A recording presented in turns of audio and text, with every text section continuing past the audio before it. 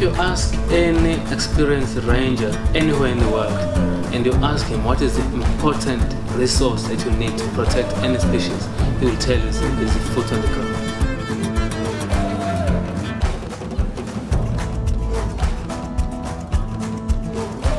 It's a constant, constant threat.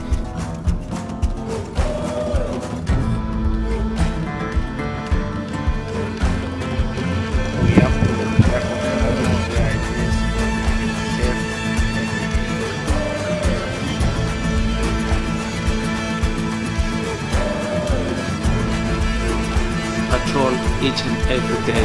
To make sure those animals are